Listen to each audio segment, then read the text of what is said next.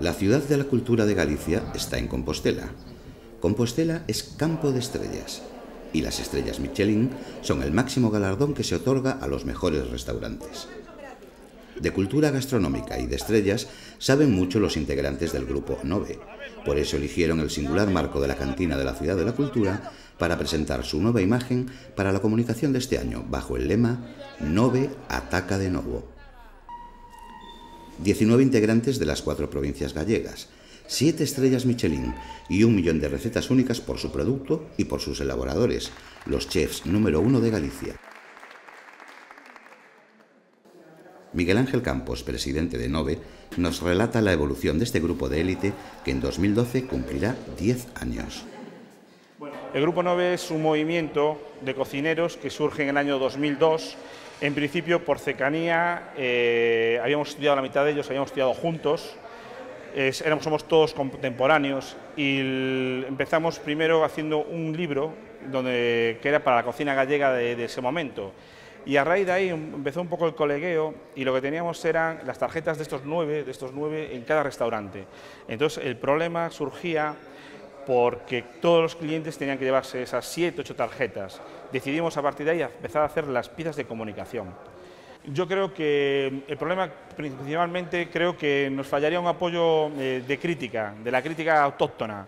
Yo creo que si esta cocina que hoy en día estamos haciendo en Galicia, estamos en Madrid, estamos en el País Vasco o estamos en Cataluña, estaríamos al mismo nivel de ellos. ¿Qué pasa? Hay que tener en cuenta que ellos tienen unos grandes críticos donde resaltan todos esos grandes restaurantes. Después la cercanía del País Vasco y la cercanía de lo que es Cataluña con Francia es un punto muy importante, cara a ese cliente que está acostumbrado a tener un poder adquisitivo mucho mayor. Estamos hablando de 17 restaurantes, o sea, 19 componentes con 17 restaurantes, de los cuales cuando empezamos en el 2002 había una estrella Michelin nada más, que era BP Soya.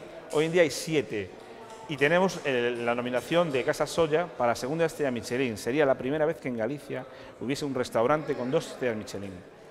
Nuestro objetivo es eh, tener un reconocimiento absoluto, primero en lo que es nuestra autonomía, porque aunque creemos que somos muy conocidos dentro de nuestra autonomía, nos encontramos que hablamos en las escuelas de hostelería, que de vez en cuando vamos por allí, y le preguntamos a los chavales que están estudiando y solo nos conoce un 20%.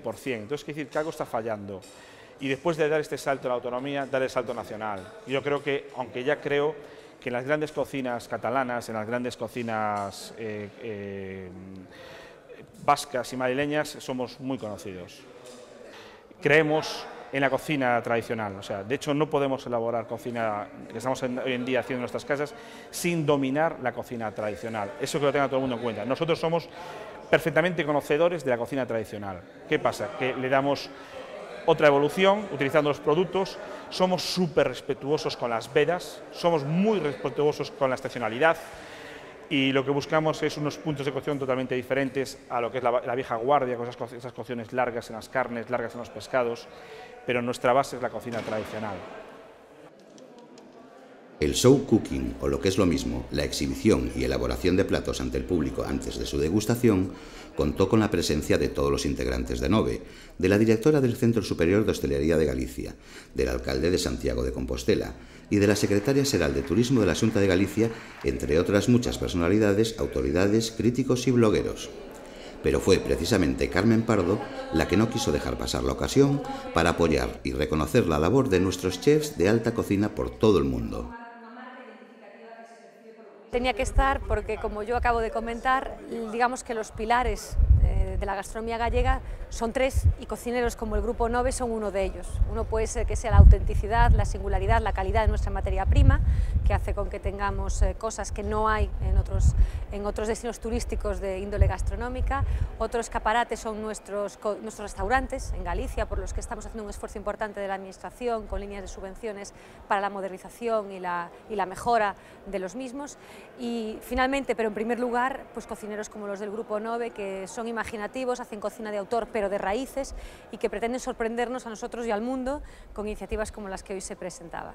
que siempre se ve Galicia desde fuera como muy buen producto, pero no se habla de los cocineros. Afortunadamente eso está empezando a cambiar y uno cuando enciende la televisión, lo decía antes, pero es verdad porque me ha pasado, empiezan a aparecer sobre todo chicos del grupo 9, que ya no son 9, ya no son 9, son 20, pero que cumplen 9 años, el año que viene 10 y que realmente están empezando a hacer ruido en el mercado internacional a nivel gastronómico. Los estamos utilizando en el mejor sentido de la palabra. Eh, cocineros del Grupo 9 nos han acompañado a Madrid, donde Galicia ha sido comunidad invitada en milésime. Nos han acompañado a Sao Paulo, donde Galicia ha vuelto a ser comunidad invitada también en milésime Sao Paulo.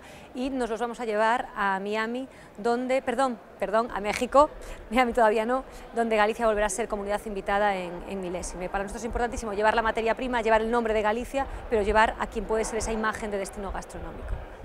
Bueno, tengo que decir que aquí hay eh, exalumnos del Centro Superior de Hostelería de Galicia, que el Centro Superior de Hostelería de Galicia ha sido elegido el año pasado por la Federación Española de Hostelería, por la FER y Restauración, el mejor centro de España.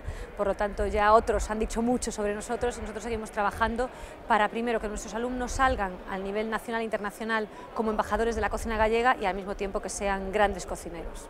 En tiempos de austeridad es complicado, nosotros como digo los utilizamos y los aprovechamos y los llevamos con nosotros la mano para hacer promoción de Galicia como destino gastronómico. Si es verdad que han prometido, se han comprometido al año que viene que cumplen 10 años, este es el año 9 del grupo 9, eh, digamos hacer algo más multitudinario y que será importantísimo para la población gallega que a lo mejor no los conoce pero también desde el punto de vista de la promoción turística.